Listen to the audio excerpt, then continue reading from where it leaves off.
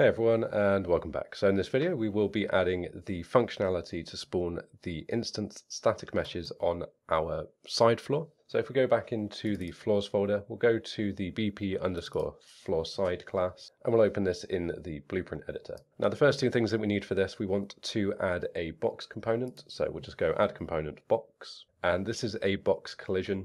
And then on top of this, we want to add the instanced static mesh. So we'll find the instanced static mesh and just make sure that this sits directly below the box that you've just added. So this is going to all be run on the construction script. It's going to be very simple and I'll run through what this is doing as we go through. So the first thing I want to do is I want to make sure that the static mesh's uh, location is relative. So we're going to control drag in a reference to that and we'll pull off of this and we'll just set the world location. Okay, so set world location. We want to get a reference to the box component that we've just added. Um, and in fact, I just realized I think we want the box to be sat on our static mesh. So the hierarchy of this should be the scene root that we have, uh, the static mesh, the box, and then the child of that will be the instanced static mesh. So just make sure you have that set up the right way. Uh, and if you need to, just zero out the uh, location again, because sometimes those can change. Uh, with that done, we'll pull off of the box and we'll get the relative location. And of course, we're just going to plug that into the new location of the instanced static mesh. So we'll plug this in first to the call to the parents construction script, which I uh, ran through and explained in the previous video. And once we've done this, the next thing is we just want to clear. So if we get another reference to the instance static meshes, we just want to pull off of this and clear instances. So this is just going to make sure that uh, we shouldn't anyway, but just in case we did for some bizarre reason, uh, have any already spawned instance static meshes. We don't want to duplicate them or uh, copy over them. So we're just going to uh, completely clear all references in this instance static mesh that were. And also what we want to do before we go through any more of the code is just select the instance static mesh itself. And we're going to add the static mesh of the cube to this, and we can leave this as the, uh, the default cube material for now. And if we go over to the viewport, uh, you'll notice that nothing happens because we need to actually programmatically spawn these into the world. So at the moment, it's just holding a reference of what it will spawn if it's told to create some instances. We can see down here we don't have any instances. We can, of course, fill these manually, but the way that we're going to do this is we'll, we'll do this programmatically so that we can have some randomization on the construction of this uh, blueprint. So back in the construction script, we want to pull off of the clear instances and we're going to do a for loop. And this is completely up to you, but I find a number of uh, 10 different cubes per tile looks pretty good. It makes everything look quite full and gives some randomness to this. And then we'll pull off of this again. And for each of these uh, for loops, we want to add an instance to our static mesh. So in fact, it's going to be easier again to get a reference to the static mesh pull off of this and find add instance, and we'll plug that into the for loop that way.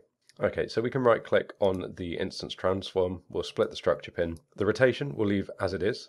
The scale will be randomized as well, uh, but we're going to focus on the location first of all. So quite simply for the location, we're going to control drag in a reference to the box again. We're going to pull off of this, we'll get the component bounds. And if you haven't used this before, uh, don't worry too much. We'll go through this in a second, but it's going to make a lot more sense when I can visualize this rather than trying to explain it. And at the moment, the visualization won't work. So we'll pull off of the, the bounds that we have for the box. I'm going to get a random point in bounding box. So we can see it here, random point in bounding box. We can pass in the box extent as well. And that quite simply will be the location of the instance that we have being created.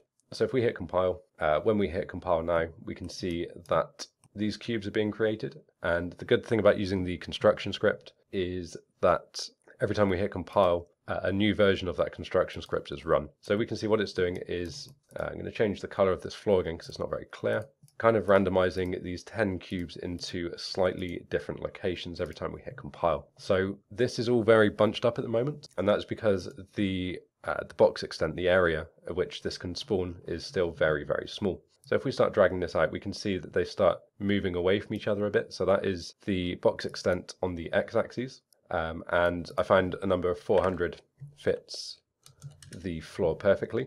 And then we want to do the same thing for the y. So again, we can see as we move the box extent out. Um, and if I move the box up, in fact, you can see what we're moving. Uh, this is the box extent here. So it's just a standard collider. And within that extent, which we want to be 400 by 400, we're just going to set the cubes to spawn somewhere within that position. Uh, and then what I did as well for my version is I've made the z-axis 0.1 just so that um, there's no variation in the height of the location they can really spawn. Uh, with that, I'm going to move this back down to zero on the Z. And the next thing we want to do is to control the height of these. So if we go back into the construction script, uh, the next thing we're going to do, which again will be random, is the, uh, the scale of these. So I'm going to split this into another structure pin so we get the X, Y, and the Z exposed separately. I'm going to pull off of here and I'm going to get a random float in range. So random float in range. And copy that and we'll plug that into the, uh, the Y value. And again, we'll copy this and plug one into the Z value. So the Y and the X are going to be very similar. Uh, for the minimum, I'm going to pull off of this and promote this to a variable and we'll just call this one min xy. So I'm going to also plug this in to the minimum value for the y-axis as well. Of course, if you did want that full randomization, then just create a min x and then a min y separately. Uh, and likewise, I'm going to create another variable. I'm going to call this one max xy. We'll control drag that in and we'll plug that into both of the maximum values. Um, and I just found, if we hit compile, I just found a value of 1 on the minimum and 2 on the maximum works quite well. Uh, and the main thing which gives the visual interest I find here is the Z scaling. So I'm going to make the minimum of, uh, let's say, uh, 2 and then a maximum of 20. So again, if we hit compile, we can now see that we have these cubes and of course we can see them from below here, but that's not going to be a problem in the game. But if we hit compile, we have these cubes moving around and looking quite nice and random, kind of like a weird low poly tower scape or something, or a cityscape type thing.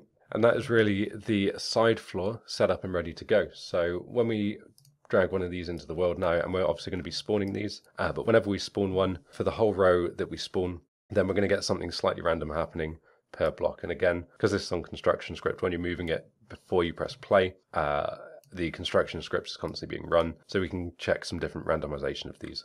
So I think that looks pretty cool. That's going to be uh, the visual aesthetic for the final version. We're going to add some colors and new materials later as we go through, uh, but that is the functionality for the side floor done. So I'll leave this video here for today. As always, if you've enjoyed these videos or find them useful, please do leave a like and share the video around. That always helps. And of course, don't forget to hit the subscribe button to be kept up to date with any of the content coming from any of the playlists on the channel. And as ever, thanks for watching, and I will see you all next time.